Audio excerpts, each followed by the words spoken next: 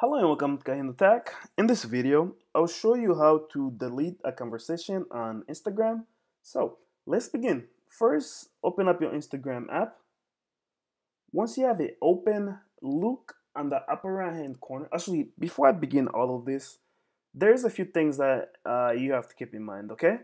For uh, the very first thing is uh, once you delete a conversation, it will no longer be visible in your inbox but you have to keep in mind that this is on this only deletes the conversation for you.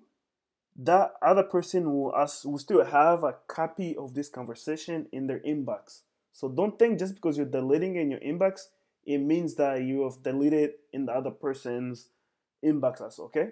And uh, one other thing that you can do that will help if you really want to delete uh, messages in both places for you and the receiving end you might want to do the thing where uh, you unsend a message and just go through the whole conversation and unsend all your portions of the messages. And if you want to know how to do that, either ask in the comment section below or search on my channel. I already created a video showing how to unsend messages. Okay, now let's begin. First, uh, open up the Instagram app like you have, like I have here.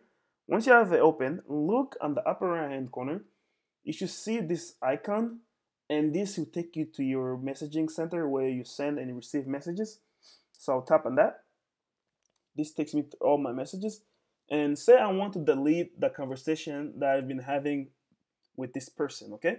To do that, what you do is simply swipe, swipe to the left from right to left. So swipe your finger left to right, and you see this option coming up over here, okay? Again, once I swipe, I see this option Okay. Uh, once this comes up, click on over here where it says delete.